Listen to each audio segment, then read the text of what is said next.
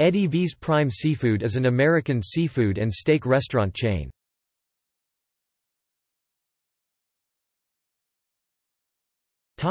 History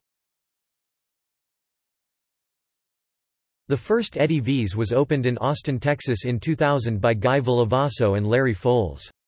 In 2011, the brand was sold for $59 million cash to Darden Restaurants, Inc. and became a part of Darden's Specialty Restaurant Group.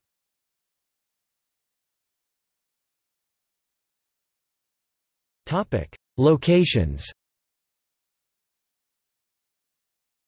As of October 2017, there are a total of 21 Eddie V's restaurants. Arizona. Scottsdale. California. La Jolla. Newport Beach. San Diego. Florida. Orlando. Tampa. Illinois. Chicago.